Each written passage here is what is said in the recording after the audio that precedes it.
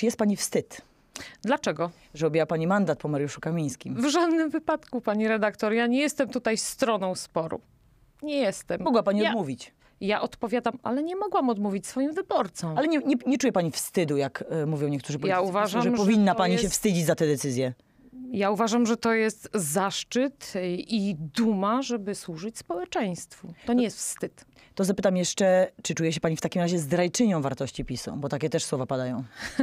No, nie wiem z czyich ust, ale te usta powinny się e, chociaż na chwilkę tak może przyciszyć, wyciszyć i uspokoić, e, no bo pewnie będą się wstydzić za te słowa z czasem.